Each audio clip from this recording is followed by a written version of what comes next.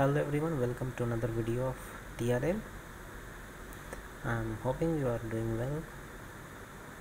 In this video I'm going to tell you how to estimate heat losses from cavity in natural convection.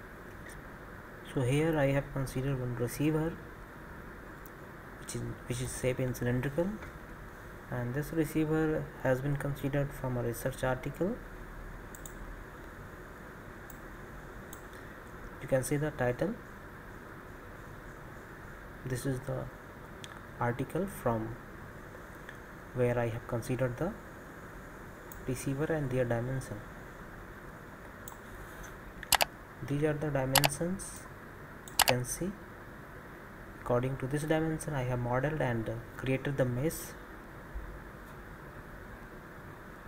Okay. So this is your cavity receiver cylindrical cavity receiver in the fluent solver. It consists of two surfaces one cylindrical and one end plate. To estimate the heat losses from surfaces of cavity receiver I have considered a big domain compared to receiver. So here you can see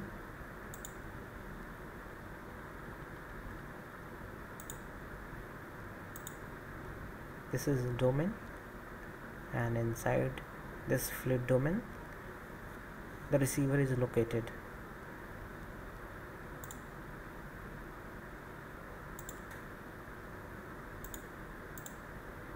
You can see you can see the receiver and the mesh details on different surfaces and domain. I'm assuming you are aware of geometric creation and meshing in the ANSYS workbench. So that's why I'm skipping that part. And also I have some tutorial on this on this channel. You can you can see that to get the idea of geometric creation and mesh generation. Okay so let's start from the basic step. It start from the general information. In this uh, tab you can find type of solver uh, your problem is time dependent or non time dependent mainly steady and transient state condition and the gravity. Further you can find the different kind of model which includes multi-phase energy viscous radiation and all. And then after you have to define the material for, for fluid and solid then cell zone selection further boundary condition then solution. In solution you have to define different type of pressure velocity coupling.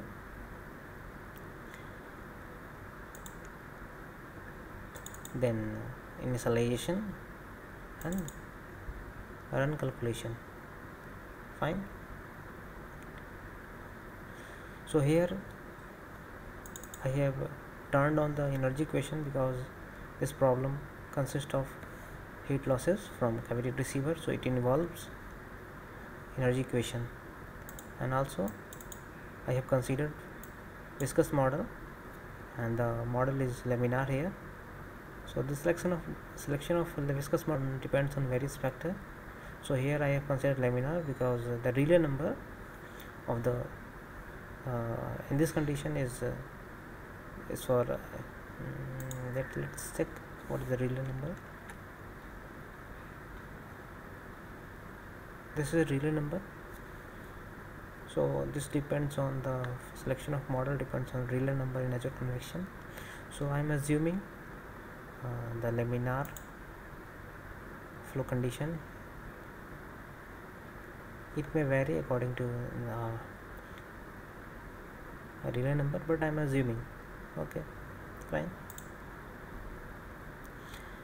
There is no radiation model involved in, in this problem. I am considering only convection heat losses. So radiation model is off. Now then define the selection define the material involved in the study. I have considered air and uh, solid I think there is no need to define solid because all are the fluid domain okay. Cell zone the domain should be fluid. So it is there fluid. Then boundary condition cylindrical wall end plate insulated wall.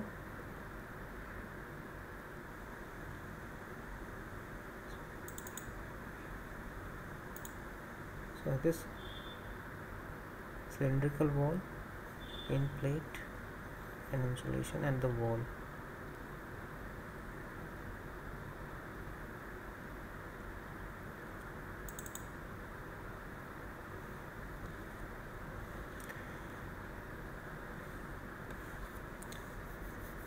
in this study I have considered. The cylindrical wall is maintained at temperature at constant temperature of 445 degrees Celsius so I defined accordingly. You can see the boundary condition for the cylindrical wall.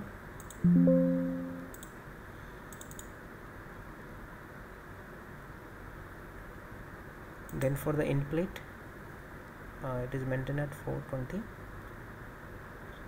so I am considering uh, this data at random.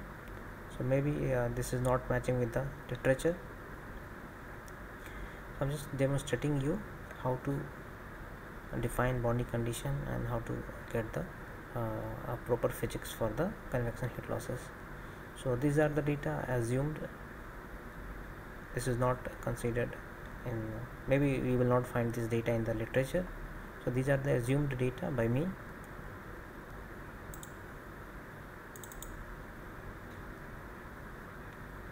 The insulated wall. As there is no conduction through the wall wall of the receiver and it is assumed so there is no conduction. So the, cavity wall is maintained at the cavity condition. So there is no heat losses. There is no heat flux at the surface. So we define 0 and outer wall of the domain.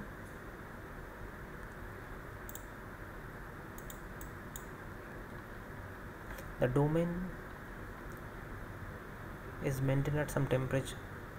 Therefore the their wall will be at the same temperature.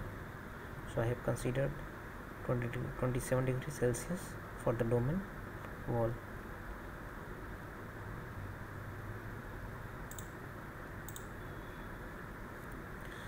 yeah one thing more I forgot to tell you. In material you can define the different properties of material.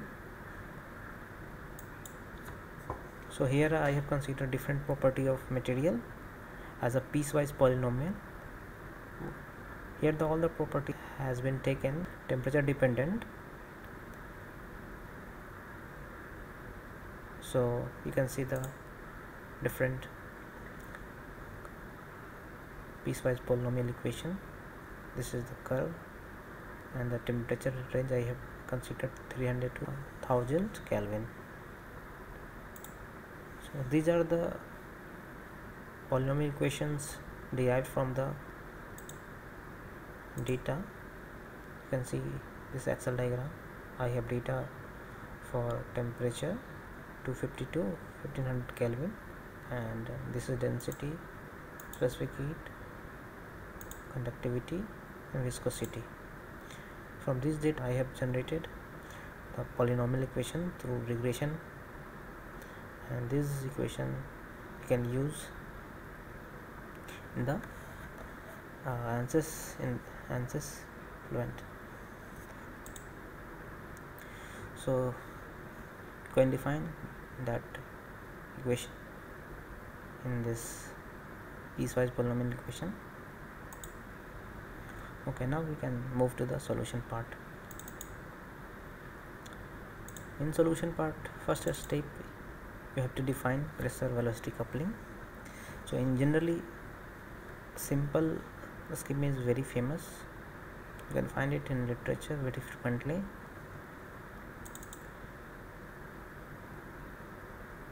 These are the under relaxation factor. Uh, this is modified one I suggest you to use default value. So now initialization now you have to initialize the solution. So here I'm choosing hybrid one.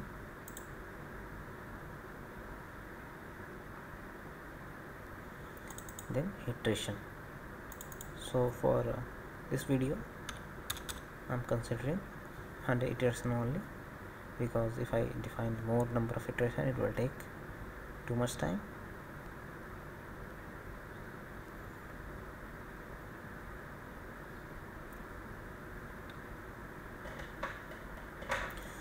So you can see the iteration has been started.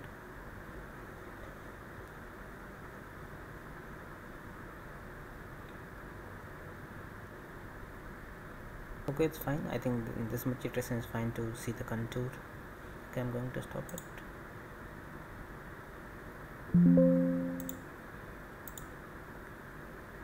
in monitor inversions condition.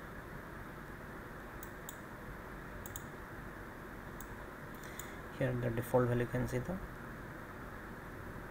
criteria for the convergence for the different equations.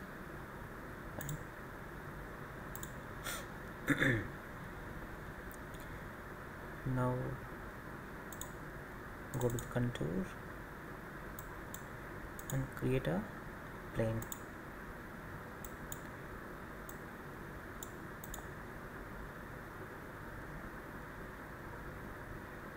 y z x y.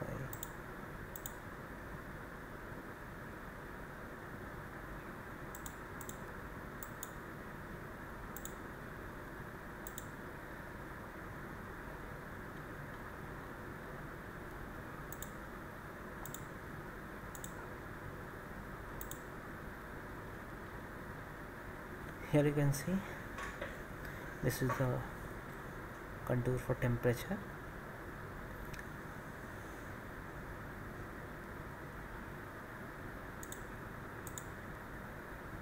See? You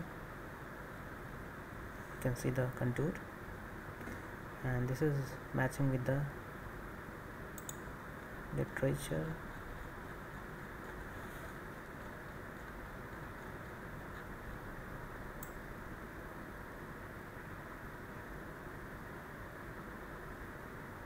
okay the contour is not given. So there is one more paper. Reported by the same author. So you can see the contours are matching.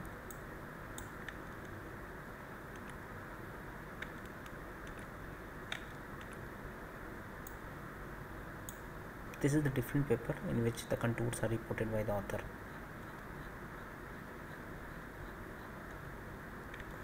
can see you are getting almost we are getting almost same type of contour. So the physics is same. And here you can see the total heat losses in the flux. Total heat transfer select all the so these are the value of heat losses from the different surfaces. So i hope this is useful for your research. Thanks for watching. If you like this video subscribe our channel share with your friend. Thanks. Your like motivates us